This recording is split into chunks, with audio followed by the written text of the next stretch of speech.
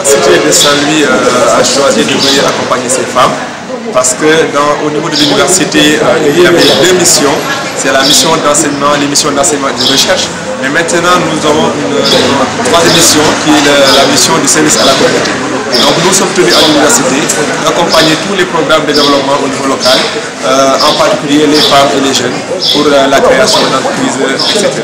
L'accompagnement, c'est de renforcer, renforcer la capacité des femmes, parce que c'est des femmes qui ont beaucoup de volonté, beaucoup d'ambition. C'est des femmes qui ont beaucoup de, qui ont esprit de créativité. Mais dans le cadre de la mondialisation, il y a plein de beaucoup de contraintes. Il y a des contraintes au niveau technique, des contraintes de financement, euh, des contraintes au niveau de la communication. Donc nous, devons au niveau universitaire avec euh, avec euh, notre expérience euh, d'accompagner ces femmes pour leur permettre vraiment d'innover et de, vraiment de, donner de meilleurs résultats pour être plus compétitifs. Le projet USAID ERA est un projet de renforcement de capacité. Euh, c'est un projet qui a été inauguré en 2010 et au sein du, en fait c'est un projet destiné au renforcement de capacité des, de ses partenaires qui sont essentiellement des, universitaires.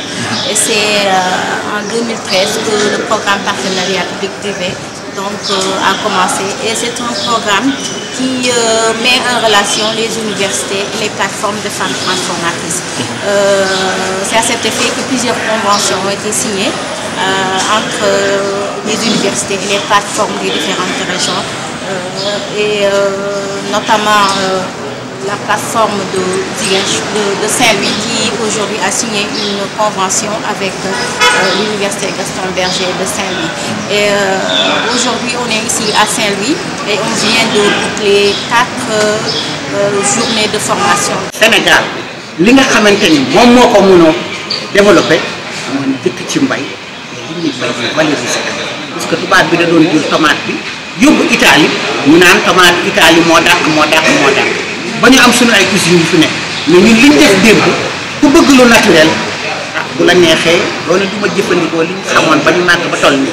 Mais buñ ko ci raxee aussi dina tax ni ñu nit daañu am loo xamante ni même bu defee bés bu tomate demee bay jar kees bi 600 wala mu jar 300 au lieu que ñuy sonnati jaboot bu ne mun nga am sax sa consommation kër te dootoo sonnati léegi buy nar a aussi buñ ko transformé jox ko koo xamante ni moom dafa nekk ci laboratoire bi.